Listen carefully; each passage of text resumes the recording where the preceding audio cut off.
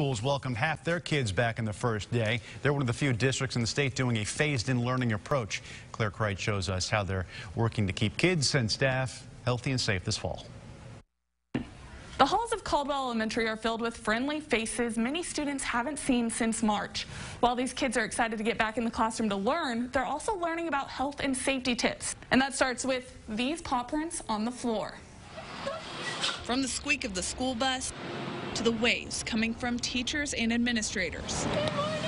You can feel the excitement of the first day of school. This is the bell to tell you that class is starting. This year, however, looks quite a bit different. Mondays and Thursdays, we have half the kids that come, and then the other half will come on Tuesdays and Fridays. Assistant Principal Jennifer Almond explains their phased in learning approach.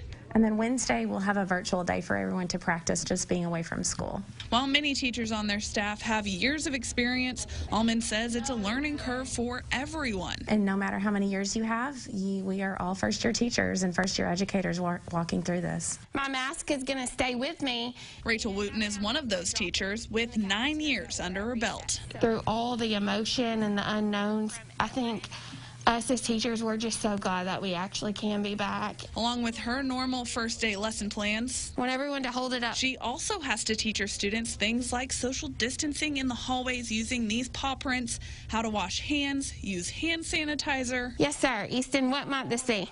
Uh, clip on units. Yes, it is. It's like a clip on Germ-X. And most importantly, how to keep track of their mask. Clip it to one of the straps on your mask. Does my mask fall on the ground? No, it's going to stay with me. While there are lots of new policies and still lots of unknowns, Smiley faces or do teachers and administrators say seeing the kids back in the halls makes it all worth it. That one brings tears every time we talk about it. Just having those kids on campus, um, that's the best. This phased-in learning will last two weeks. Administrators will make a decision before Labor Day. Reporting in Benton, I'm Claire Kreitz. Back to you. Thanks very much.